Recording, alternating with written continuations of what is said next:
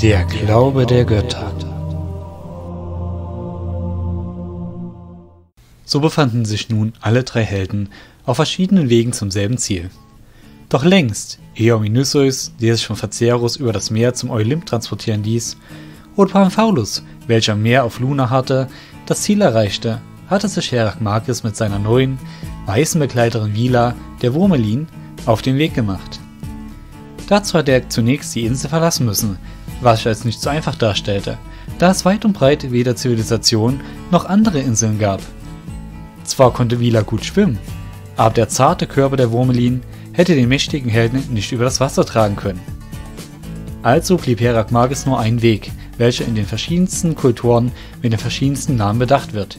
Schicksal, Zufall oder auch Glück. Verschiedene Varianten der Namen dieses Weges, doch alle meinen ein und dasselbe. Das Hoffen auf ein gutes Widerfahren ohne persönliche Anteilnahme.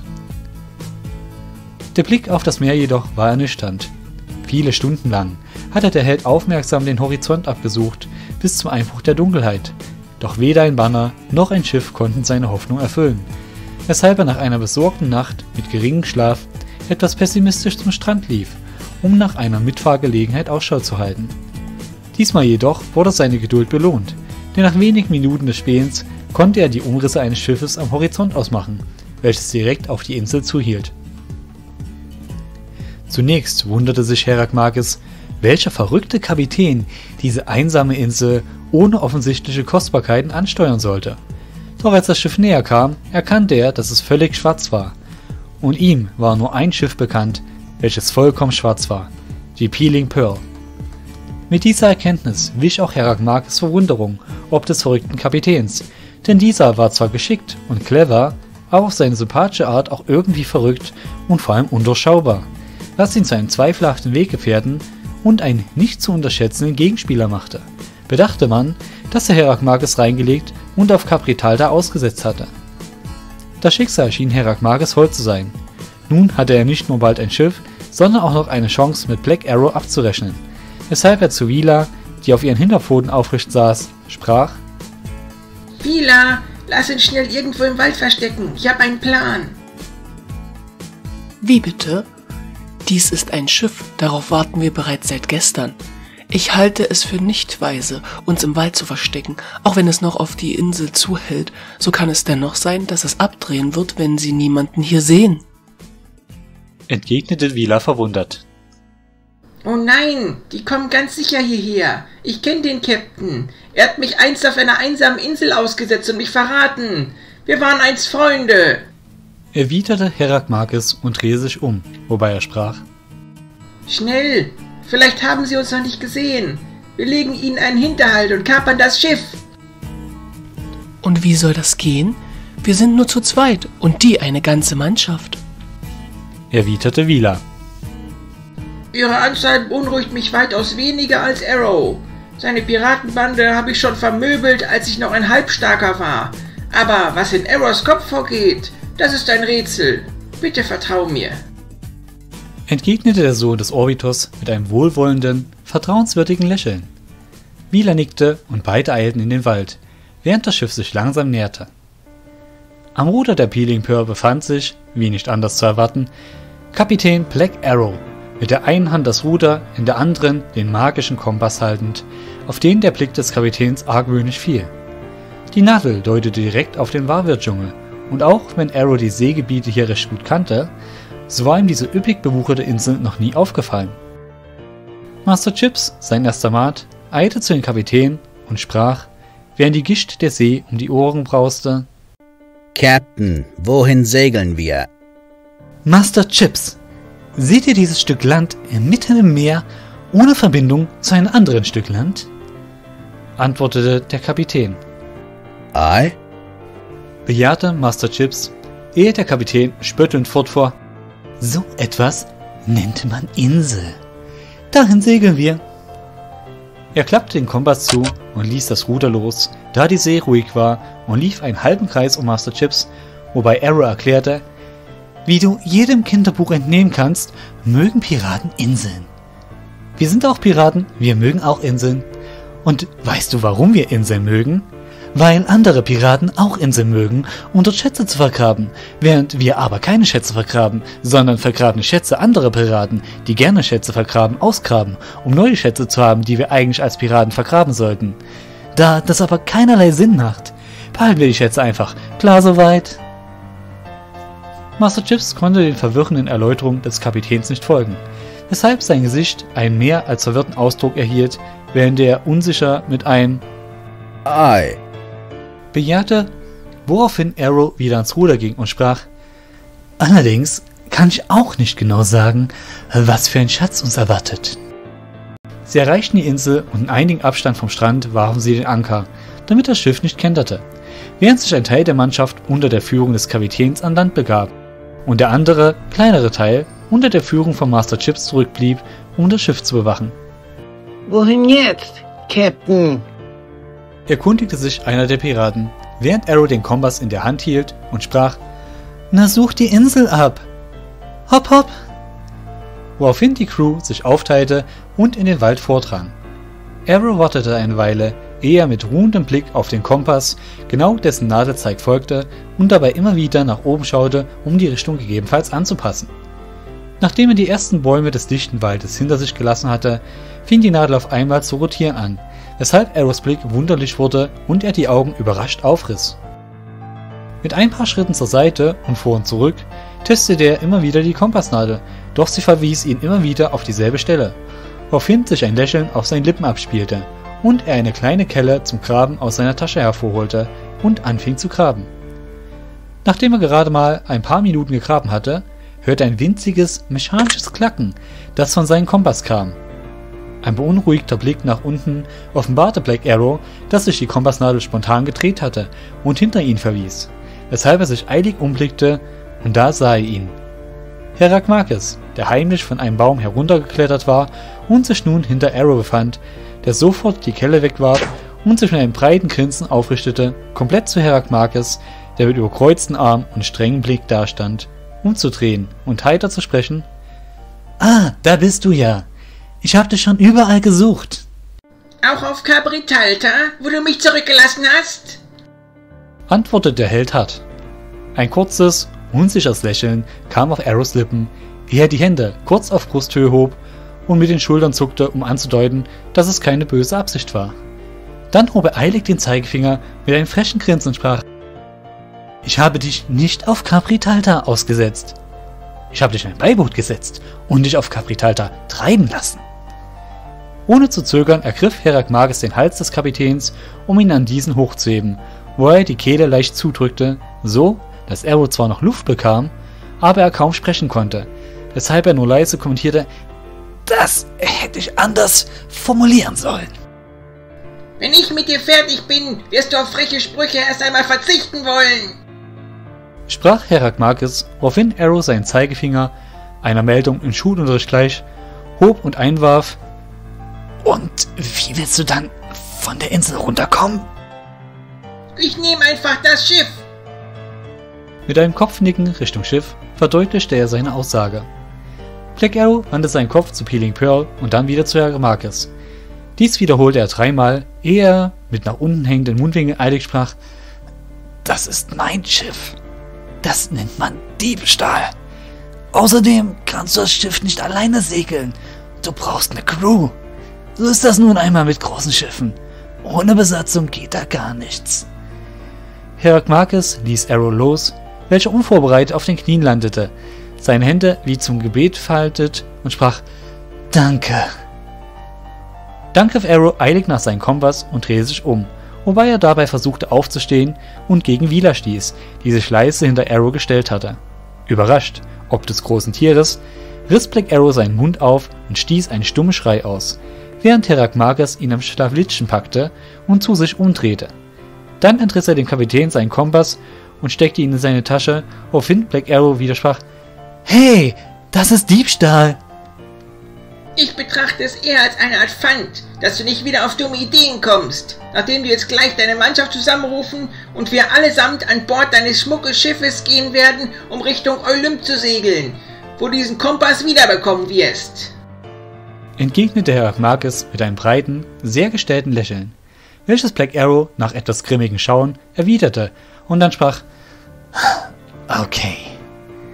Wobei er Herakmakis andere Hand ergriff und sie, einer Geschäftsabmachung gleich, schüttelte. Solltest du auch nur daran denken, mich noch einmal zu verraten, dann werde ich den Kompass sofort zerbrechen. Fügte Herakmages mit Nachdruck hinzu. Es ist nicht gut, sein einziges Pfand zu zerstören, mein Freund. Zudem habe ich dich ja nicht wirklich verraten. Ich wollte nur. begann Arrow, der dann jedoch von Herakmages mit den Worten Das kannst du mir während der Fahrt erklären. unterbrochen wurde, woraufhin er seine Männer zusammenrief und Richtung Strand in Begleitung von Herakmages und Vila lief. Als der Kapitän mit seinen zwei neu gewonnenen Begleitern den Strand erreichte und sich nach und nach seine Leute versammelten, welche über den Anblick der Wurmelin gleichermaßen beunruhigt wie auch beeindruckt zu sein schienen, erklärte der Kapitän immer wieder, nun schaut doch nicht so überrascht. Wir Piraten sind tolerant. Das muss auch für übel gelaunte Muskelpakete und erstaunlich anmutige, jedoch sehr unbekannte Tiere wie dieses hier gelten.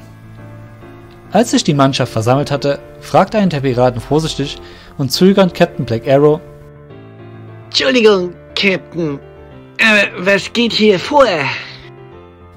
Kapitän Black Arrow legte sein überhebliches Grinsen auf die Lippen, zuckte mit den Schultern und sprach heiter, wobei er sich zu Herr Marcus umdrehte und mit dem Zeigefinger auf ihn deutete. Diese Frage möchte ich gerne weitergeben. Der Pirat wechselte mit seinem Blick zwischen dem Kapitän und Herakmakis hin und her, ehe letzterer sprach, Wir müssen Kurs Richtung Olymp nehmen. woraufhin sich Herakmakis zu Arrow wandte und diesen fragte, Sind deine Leute jetzt alle da, dass wir aufbrechen können? Fast nervös hob der Kapitän den Kopf und ging auf die Zehenspitzen, gleich ein Erdmännchen, was sich schreckhaft aufrichtet, um nach möglichen Feinden Ausschau zu halten, und schaute sich eilig um, ehe er mit dem bekannten Lächeln heiter sprach. Das weiß man nie so genau, mein Freund. Aber ich denke, wir sind vollzählig. Noch ehe Herakmages dazu etwas sagen oder darauf reagieren konnte, drehte sich der Kapitän zu seinem Schiff um und rief im Gehen: Dann alle Mann an Bord, wir scheinen es eilig zu haben. Hopp, hopp! Herakmakes durchströmten zwei wesentliche Gefühle. Das erste war Verwunderung, ausgelöst durch das undurchsichtige, nicht vorhersehbare Verhalten von Black Arrow. Das andere hingegen war ein gewisses Unbehagen, als er die finster dreinblickenden Miene der Piraten sah, von denen jeder ihm beim Vorbeischreiten einen stechenden Blick zuwarf. Da ihm jedoch keine andere Wahl blieb, ging er mit der Piratenmeute an Bord und stellte sich zu Black Arrow ans Ruder, wo bereits Master Chips auf ihn wartete, welcher den Kapitän, als dieser zum Ruder trat, verwirrt fragte, Wir brechen schon wieder auf? Ei, war die knappe Antwort des Kapitäns. Habt ihr also gefunden, wonach ihr gesucht habt? Erkundigte sich der Maat. Mehr oder weniger. Sagen wir so, ich habe gefunden, was ich offenbar finden wollte, aber nicht, was ich erhofft hatte zu finden. Erläuterte Black Arrow, woraufhin Master Chips, welcher diese verwirrende Aussage nicht verstehen konnte, den Kapitän verwundert anschaute und nachfragte, Was meint ihr damit, Captain? ohne eine Antwort zu formulieren, nickte Arrow nach hinten, wo gerade Herak Marcus mit Wheeler das Deck betraten und auf Arrow zuhielten. Das? fragte Master Chips nach. Der Kapitän drehte sich zu Herak Marcus um, dann wandte er sich wieder Chips zu und nickte etwas widerwillig, wobei er mit breiten Grinsen bejahte. Der Göttersohn hatte derweil Arrow erreicht, Chips ging von dann, woraufhin Herak Marcus sprach, Es heißt, eine Peeling Pearl sei das schnellste Schiff im gesamten Kriegeland. Wie lange wird es bis zum Olymp dauern? ein oder zwei Stunden? Antwort der Kapitän, ehe er sich vom Steuer zu Herak Marcus umwandte und mit fragendem Blick nachhackte, aber was genau? Wenn ich fragen darf, willst du eigentlich dort? Es geht wieder um diesen göttlichen Wettstreit, nicht wahr? Ja, und ich habe keine Zeit zu verlieren. antwortete Herr Marcus, woraufhin Arrow sprach, Verstehe, verstehe. Er wandte sich wieder dem Ruder zu und rief, Lichte den Anker, wir nehmen Kurs auf den Olymp.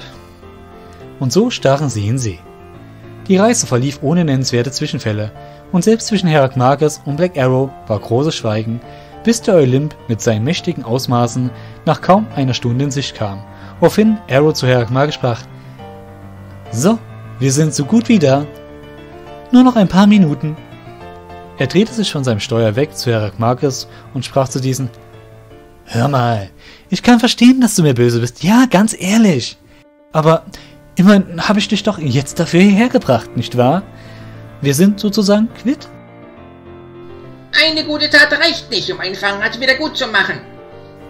Erwiderte der Held hart. Ach, aber eine einzige, schlechte Tat reicht, um einen ewigen Hass im Herzen zu schüren? Konterte Arrow traf damit Herakmakes, der sichtlich bedrückt wurde. Weißt du, das Problem mit Schlussfolgerung ist, dass sie nur bereits Geschehenes betrachten und aus diesen resultieren.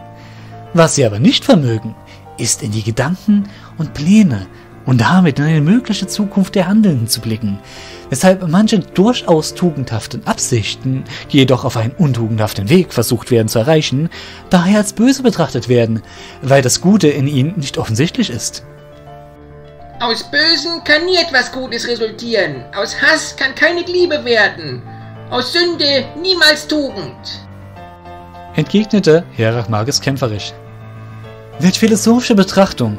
Ich bin beeindruckt. Dein Meister hat dich wohl diese großen Worte gelehrt, hä? Nun, er hat recht. Erwiderte Arrow und verursachte daher einige Verwirrung bei Herakmakis, die sich jedoch widerlegte, als der Kapitän fortfuhr. Das Problem bei dieser Expertise ist nur, dass die Welt nicht schwarz oder weiß ist, sondern dass es viele Nuancen gibt. Oder würdest du einen Heiltrank von einem Mediziner nicht stehlen, wenn du ihn nicht bezahlen kannst, du aber einen Menschen mit diesen das Leben zu retten vermagst? Ist das sture Einhalten von Regeln höher anzusiedeln als das Befolgen von höheren, auf Vernunft und Moral basierenden ethischen Prinzipien? Arrow trat so nah an Herakmakis heran, dass sie sich Auge in Auge standen, ehe Arrow hinzufügte, Niemand sollte sich Weise nennen, der den Wert des Besitzes eines Gutes über das Leben stellt. Niemand kann sich gerecht nennen, der ein Dieb, welcher Nahrung stehlt, um seinen Bauch zu füllen, dafür tadelt. Und niemand kann sich einen Gelehrten nennen, der sich Wissen über Wissen gelehrt hat, darüber hinaus jedoch die Prinzipien der Vernunft beiseite legte und das gelernte Wissen über Tatsachen stellt und sich so der Verblendung preisgibt.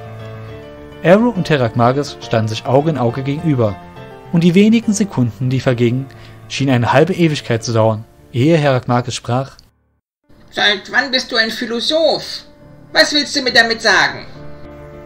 Arrow drehte sich wieder um und nahm das Ruder in die Hand, um den Kurs zu korrigieren, wobei er sprach. Es war nicht gelogen, als ich sagte, dass ich dich nicht verraten habe. Du hast mich auf einer Insel ausgesetzt, obwohl du mir versprochen hattest, mir zu helfen. Was bitte daran ist kein Verrat? Erkundigte sich Herakmakis. Mir blieb doch keine Wahl. Wie der Dieb beim Mediziner musste auch ich mir etwas nehmen, was mir nicht zustand, um mein Leben zu retten. Sprach Arrow betrübt und drehte sich um. Dies war das erste Mal, dass Arrows Gesichtsausdruck voller ehrlicher Trauer und Anteilnahme regelrecht strahlte, wobei er hinzufügte, ich habe dich zurückgelassen, denn jemand bot mir ein seltenes Heilmittel für meine sterbenskranke Mutter an. Ich bot ihm Gold und Schätze, ja, sogar die Peeling Pearl. Aber das Herz dieses Menschen sehnte sich nur nach eines, nach Rache. Und zwar auf dich.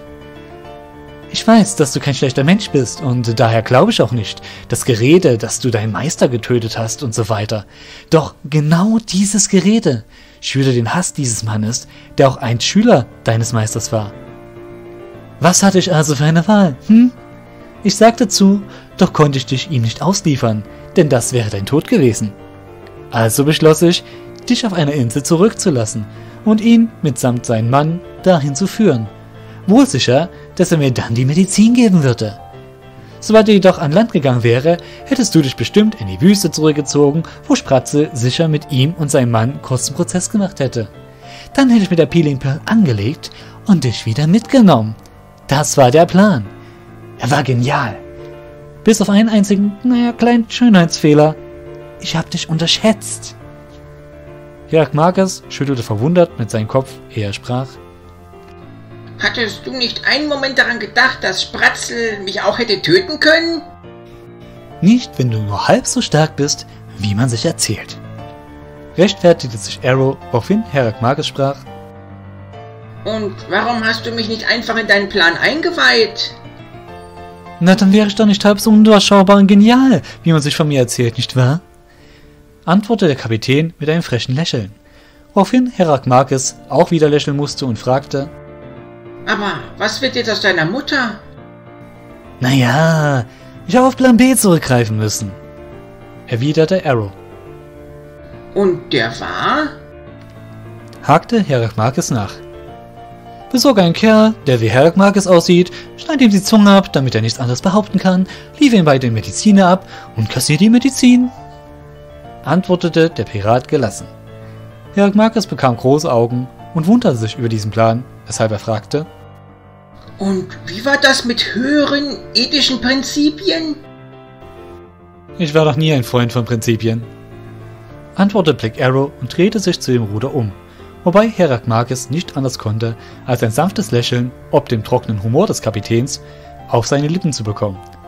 Er holte den Kompass heraus und legte ihn auf das Ruder, woraufhin Arrow seinen Kopf hob und Herakmakis verwirrt anblickte, welcher sogleich erklärte, Ihr seid ein guter Mann. Zumindest im Augenblick. Wer weiß, wie ihr nächste Woche bereit seid. Das weiß ich nicht einmal selbst, mein Freund. Wir sind übrigens da. Näher kann ich wegen den Felsenwasser nicht heran. Ich will ja nicht, dass mein geliebter Peeling Pearl etwas zustößt, sprach der Kapitän. Ich hoffe, ich bereue es nicht, aber danke. erwiderte Herakmakis und gab dem Kapitän zum Zeichen der Versöhnung die Hand, ehe er mit Wila ins Wasser sprang und Richtung Eulim schwamm.